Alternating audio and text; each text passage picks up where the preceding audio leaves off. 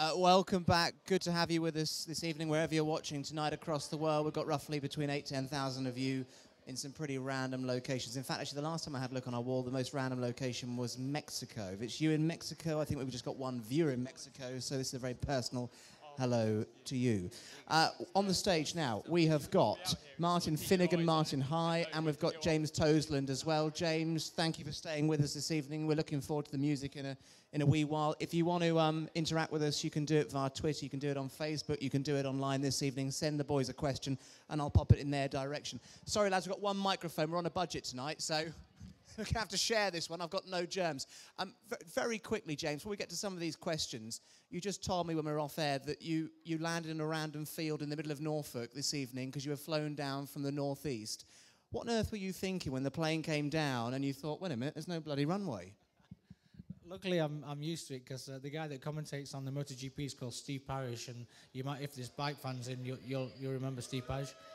Uh, and uh, but unfortunately, Steve uh, uh, has taken his motorcycle brain into his flying a bit, and uh, um, it, it, certainly opens your eyes. And when, when you land on the fields, because he's got a, a, field on his back, where he lives in this in this bungalow uh, in the middle of nowhere in Cambridge. Uh, he's got a place on the Isle of Man, and that's how we kind of flown together. Um, and he's got he's got this farm which is connected to to his place, kind of thing. And the farmer lets him have his field to land in, but it is a field.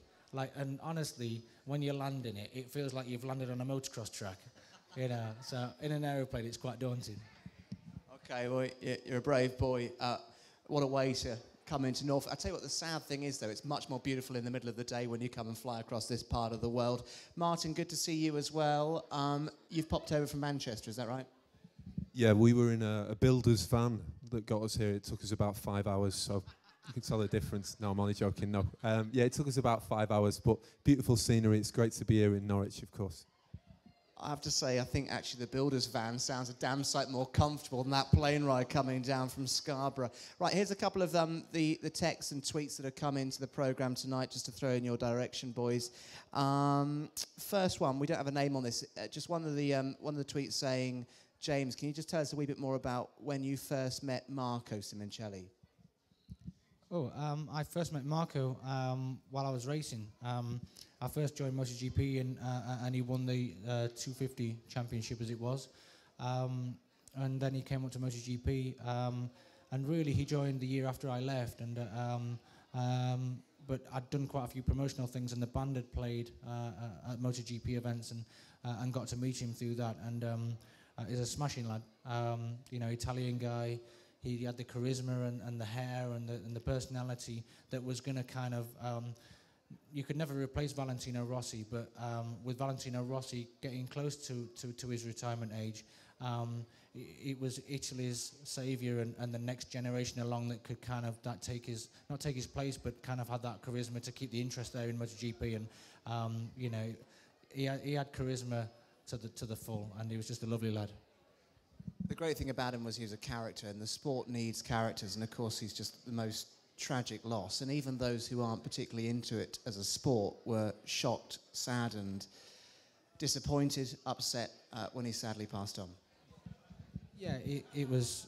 You know, I mean, at 23 years old, it, it's it's it's just no age to to go. Um, you know, in the sport that we did, we always uh, you always know that you know it's a dangerous sport, but you never think it's going to be you. Um, and, uh, you know, for, for Colin Edwards was a teammate of mine uh, to collide with him.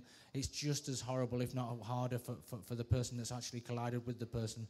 Um, so I sent Colin a text message straight after it and uh, um, just told him I was thinking about him. And, uh, um, you know, because it's one thing with Simoncelli going, but with the the people that are still here, I've having to cope with it is, is, is even tougher, I think. And, uh, you know, for Marco's family, and, uh, um, yeah, as I said, it, it just got to that point where it did look like for sure he was going to be a star of the future and a future world champion.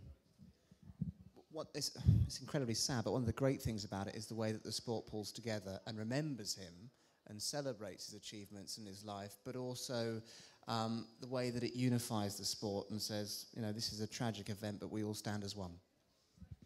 And that's the motorcycle community. Uh, as I said before, if you get into motorcycling, uh, you're instantly in uh, the worldwide community of bikers, and it doesn't matter if you speak the language or not. Um, if you go anywhere to a bike festival, and I've done a, I've done them all from from, from Australia to Japan, and um, um, it doesn't matter where you're from or what your culture is. If you ride a motorcycle uh, and you put the leather jacket on, um, you think the same way. You're into your music, you're into your rock music, and it just seems like uh, everybody's all in the in the same bag, and it's it's it's a great family to be a part of.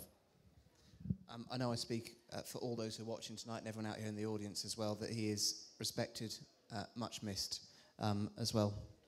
Uh, right, this is Nicola Zahn, who's watching in Germany this evening, and she says, Say hi to Don.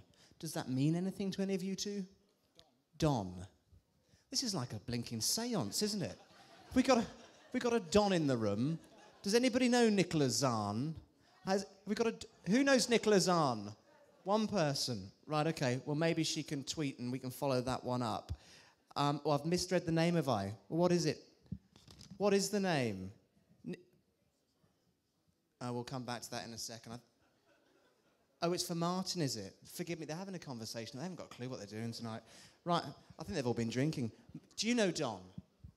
I certainly know Nicola Zahn. Um, there's a big community out there that's on Facebook called the Friends and Fans of Super Sic 58. And um, these people have kept the spirit of Marco um, very much alive with uh, setting up their own community. Um, very much good friends. They meet at MotoGPs and they contacted the band when we first started talking about putting Rise Again out for the Marco Simoncelli Foundation. There's a lot of people, as James has just said, who Marco's life touched eminently, and I've found that out ever since we've really done the song. And as James said, I can only echo the biking community is one of the kind of most amazing communities, really, because you stand together, whereas other communities kind of fragment. You can still see that in something like this, it's pretty amazing what a community like these people can achieve. So, if anyone deserves a round of applause, it's you guys. Thank you. Cheers, Martin.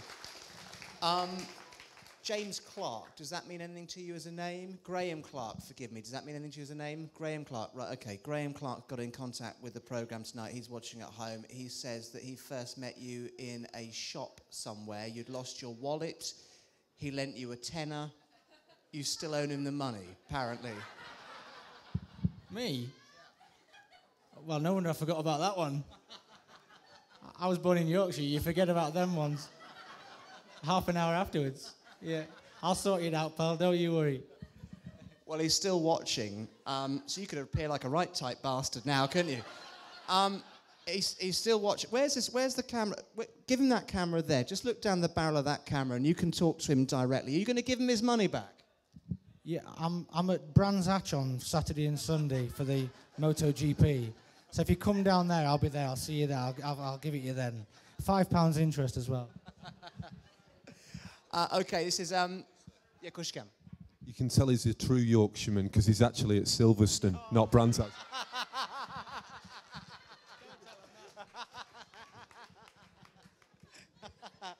Uh, right, this is um, Dan Garvosky um, on Twitter, uh, who is having an interesting exchange tonight with us and says that uh, he loves the program. Um, he's looking forward to the music. James, great to see you.